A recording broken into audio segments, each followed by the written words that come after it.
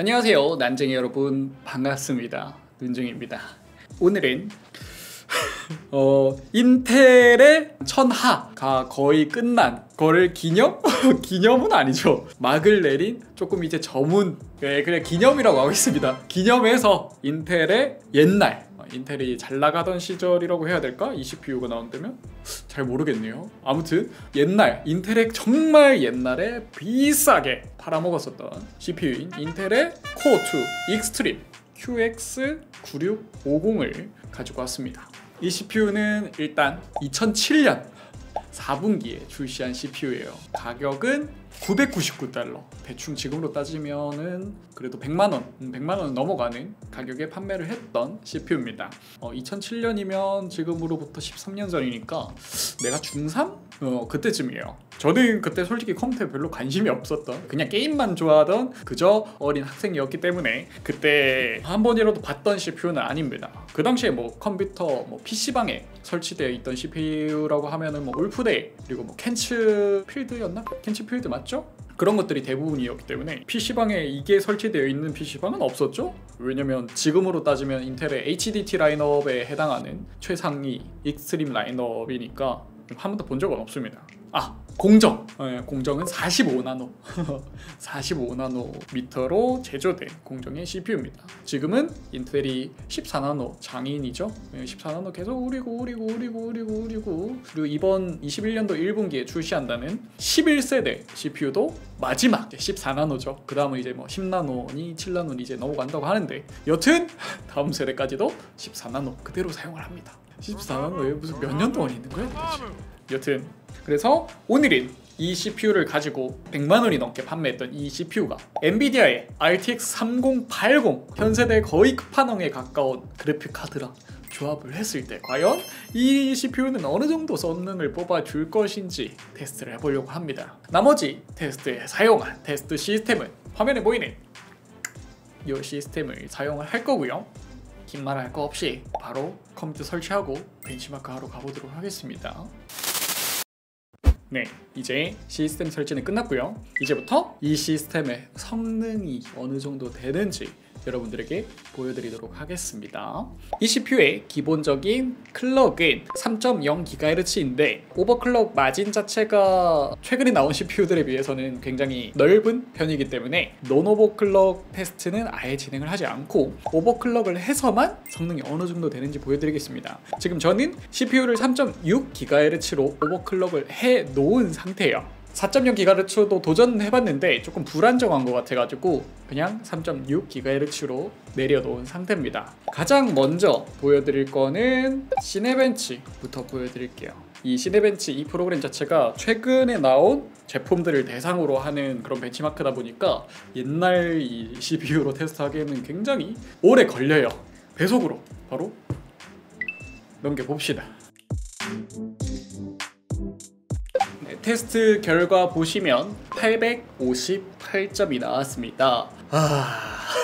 대조군들 보시면 지금 아까 전에 제가 테스트한 681점 이거 나온 거는 안정한 테스트하면서 온도 확인한다고 모니터링 프로그램을 켜놨는데 그것 때문에 점수가 이 정도나 까졌어요. 이게 4코어 4스레드의 좀 옛날 CPU다 보니까 기본적인 성능 자체가 나와서 이제 모니터링 프로그램에도 굉장히 많은 리소스를 뺏겨가지고 점수 차이가 이렇게 나는 거예요. 근데 지금 끄고 테스트를 하니까 858점이 나왔는데도 불구하고 좀 옛날 CPU들이랑 비교를 해도 옛날 뭐 Ivy Bridge, i5 3550 이 친구 같은 경우도 인텔의 Core i5 3세대 Ivy Bridge 제품인데 똑같은 4코 4스레드 제품인데도 점수 차가 조금 나죠. 뭐 세대 차이가 나니까 IPC나 뭐 이런 부분에서 좀 성능 차이가 많이 나서 그건 어쩔 수 없는 부분일 거예요. 여튼 최신 CPU들하고는 점수를 비교할 수는 없다라고만 생각을 하시면 됩니다. 그러면 게임 테스트로 넘어가서 좀 가벼운 게임인 리그 오브 레전드를 먼저 해보도록 하겠습니다. 사용자 설정 게임. 어, 이 봇 추가하는 것도 렉 걸리네요. 봇 다 채우고 5대 5로 해가지고 간단하게 테스트를 해보겠습니다. 캐릭터는 샤코.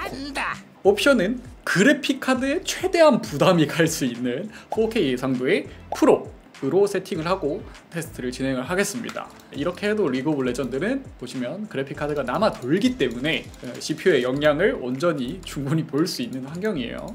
일단 뭐 초반 라인전 진행하지 않고 있는 지금 이 상황에서는 프레임 자체가 뭐 썩 그렇게 나쁘진 않아요. 어?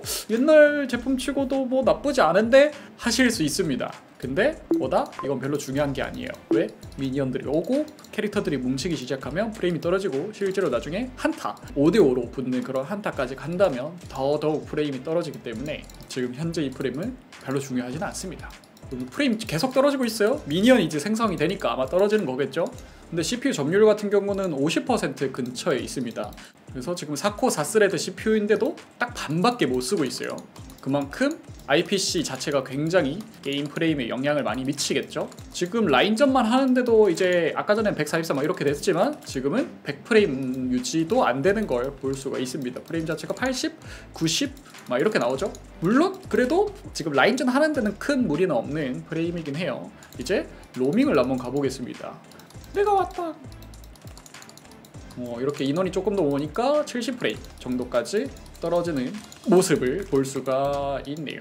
근데 지금 라인전 단계에서 프레임이 이 정도 나오는 거면 실제로 나중에 한타를 갔을 때는 60프레임 언저리에서 조금 놀지 않을까 싶어요. 유지도 안 되지 않을까? 롤은 대충 이 정도만 보면 될 것 같아요.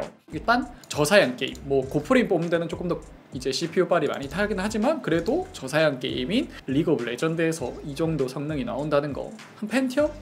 펜티엄 느낌? 펜티엄보다 못한 것 같은데 내가 보기에는 인텔 펜티엄 2코 4스레드 CPU를 써도 최신 제품들은 그래도 IPC 자체가 더 높아가지고 프레임 유지가 훨씬 더 잘 될 겁니다. 메모리 자체도 이 시절처럼 DDR3가 아니고 DDR4 플랫폼이기 때문에 그 부분에서도 차이가 날 거고요. 두 번째 게임은 오버워치로 진행을 해볼게요. 오버워치도 동일하게 4K 해상도에다가 풀옵, 렌더링 스케일은 100%로 두고 나머지는 최상으로 그래픽 카드에 최대한 부담이 가게 한번 해보도록 하겠습니다. 일단은 훈련장 국룰이죠. 훈련장 훈련장 이후 좁아 터진 오버워치 국룰 어, 일단 훈련장에서도 처음 들어왔을 때 stuttering이 좀 심하네요. 프레임 자체는 뭐 나름 준수하게 나옵니다. 훈련장 프레임은 뭐 60프레임 모니터는 충분히 다 뽑을 수 있을 만한 그러긴 한데 좀 stuttering이 있긴 있어요. 근데 그거는 이제 첫 로딩 단계에서 CPU나 메모리 쪽이 성능이 안 좋다면 stuttering 생기는 경우가 예전에 AMD APU bench할 때도 있었죠. 근데 어느 정도 로딩되고는 크게 문제는 없습니다. 프레임 자체도 음, 나름 잘 나오네요. 그래픽카드 load율 4K 풀옵이라 그런지 확실히 글카 load율은 잘 뽑히고 CPU는 근데 100% 찍습니다. 근데 CPU 100% 찍는데도 뭐다? 네, CPU 온도가 막 70도 이렇게 찍지도 않아요. overclock을 해서 전압까지 수동으로 높게 준 상태인데도 불구하고 CPU 온도가 뭐다? 별로 안 높다. 근데 쿨러는 뭐다? 어, 2만원짜리 공랭 쿨러일 거예요. 그 정도로 생각보다 발열 자체는 크지 않습니다. 근데 전력 소모 자체는 생각보다 커요. 지금 오버워치 하는데도 와 씨. 지금 딱 보여주면 되겠다. CPU 100%, 글카 100% 가까이 쓰고 있는 이 상태에서 시스템 전체 전력 소모가 전력 소모 보시면 555W 지금 파워 자체가 80 plus standard 인증받은 제품인데 650W 제품입니다. 효율 자체가 아마 지금 거의 끝 구간 가까이 쓸 테니까 효율이 한 80%에서 90% 사이 정도 효율 나올 텐데 그래도 실제 전력 소모가 한 450에서 50, 500W 정도를 쓰고 있다는 소리겠죠. 근데 그거는 3080이 워낙 많이 먹어서 그런 것도 있어요. 일단은 뭐 훈련장은 이 정도 나오는 거고 이제 뭐다? 아 국룰이죠. 좁아 터진 오버워치에서 만약에 이게 프레임이 잘 나온다고 하면은 실제 오버워치를 진행하면 어느 상황이 와도 여기보단 프레임이 잘 나온다고 보시면 돼요. 여기는 프레임이 안 나올 수밖에 없습니다. 프레임 타임 같은 경우는 어, 할 수는 있는데 솔직히 말해서 원활하다고는 절대 말을 못 하겠네요. 이게 지금 우리가 공격 진영의 느낌이라서 그렇지 좁아 터진 오버워치에서 밀리는 상황에서 내가 죽고 태어나고 죽고 태어나고 막 궁극기 계속 막 effect 나오고 이렇게 하면은 프레임이 이것보다 훨씬 더 떨어지거든요. 근데 지금 공격적인 상황에서도 생각보다 그렇게 원활하진 않아요. 프레임 타임 튀는 거 보시면 뭔가 스킬 하나를 썼거나 우리 팀들이 뭔가 하나를 썼을 때 툭툭툭툭 계속 튀는 거 보이시죠? 화면이 계속 뚝뚝뚝 끊겨요. 일단은 뭐 CPU load를 100% 찍고 있고 글카 load는 남아 도는 상황이죠. CPU하고 메모리 쪽에 병목이 있기는 있다고 생각을 하시면 될 것 같습니다. 어, 대충 이 정도 보면 될 것 같네요. 그럼 이제 마지막으로 국룰 게임 배틀그라운드 한번 가보도록 하겠습니다. 배틀그라운드는 옵션 동일하게 4K에 all ultra 거기다가 선명한 motion blur 켜고 진행을 하도록 하겠습니다. 배그는 훈련장만 봐도 돼요. 딴 거 볼 필요가 없어요. 음, 로딩 창에서부터 약간 쎄해요. 프레임 타임 보면 들어왔습니다. 아 들어오자마자 일단 프레임이 대충 보이죠? 60 아니죠 60 밑으로 지금 아직 훈련장 시작은 안 했고 17명 이제 로딩 들어갔고 프레임 타임 막 쭉쭉쭉쭉쭉쭉쭉쭉쭉쭉쭉 튑니다. 그래도 프레임이 올라가긴 해요. 근데 올라가는 게 의미 없을 정도로 프레임 튀는 게 심해가지고 그래도 게임이 가능하긴 할 것 같아요. 실행은 된다. 할 수는 있다. 옵션 타협을 보면 어찌저찌 할 수는 있다. 근데 실제로 훈련장에서 이 정도까지 프레임 타임이 튀는 거면 60프레임 언저리에 실제로 사람들이 많이 싸우는 그런 구간에서 전투를 한다면 프레임이 뭐야 멈췄어. 프레임이 30에서 40프레임 막 이렇게 언저리로 나오면서 프레임 타임 막 이렇게 막 튀는 거 보실 수가 있을 것 같습니다. 그러니까 정상적인 gaming은 불가능하다고 생각을 하시면 돼요. 그리고 지금 멈췄어요. 왜 멈췄지? overclock 안정화 다 했거든요? 잘못했나? 어, 아무튼 뭐 어차피 여기까지였어요. 예. 그래서 이 시스템 성능 테스트는 여기까지. 하, 성능은 그 CPU 자체가 워낙 오래된 거잖아요. 왜냐면 2007년, 13년 전에 나왔던 CPU니까. 지금 이 리뷰를 보시고 어 생각보다 쓸만한 데서 살 생각하지 마세요. 차라리 현재 살 수 있는 것 중에서 저렴한 가장 저렴한 제품을 구매를 하시는 게 차라리 성능적인 부분에서 더 도움이 되고 새로운 기능들 사용할 수 있는 것도 많고 기술적으로 CPU에 들어가 있는 명령어부터 시작해가지고 등등 호환성 부분에 그런 것도 있을 거고 살 생각은 하지 마세요. 그냥 옛날에 100만 원 넘게 주고 산 CPU의 성능이 이 정도구나 라고 생각하시면 될 것 같습니다. 그러면 여기까지 오늘 영상 마음에 드셨다면 좋아요, 별로라면 싫어요 눌러주시고요.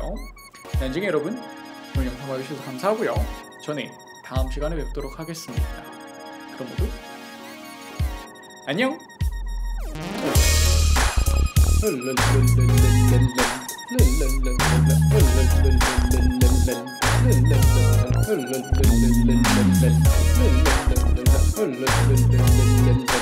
la la la.